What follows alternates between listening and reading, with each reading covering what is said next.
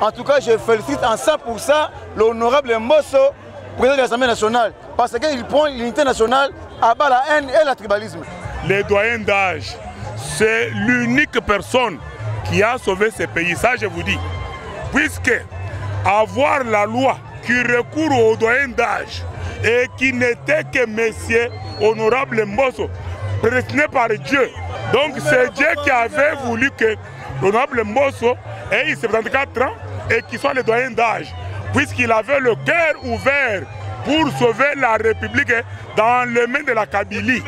Je vous dis, mon cher ami, que le message de l'homme Mbosso tient debout et que Changu, Mbosso ou rien, Fachi ou rien. oyo alobi na biso mpona makambo ya congo vraiment epesi biso esengo alakisi mpenza ke wi président apesi ye confiance mpo basala mosala na congo mpona kotombola congo.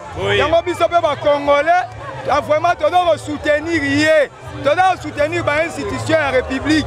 Mpo tomoni mpenza président mboso kudi ya pwanga alakisi mpenza ke azali compatriote aza na susi kimia ezala na mboka partout na territoire nyonso. Mpona kongo ezwa développement.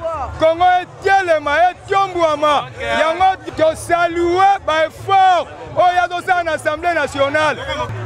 Biso tokosoutenir président mboso ntina suka Voilà. donc tokosoutenir président mboso na président de la république na vision oyo aza nango ya kosoutenir Eh, président eh, vraiment. tokokende nango ntina 2023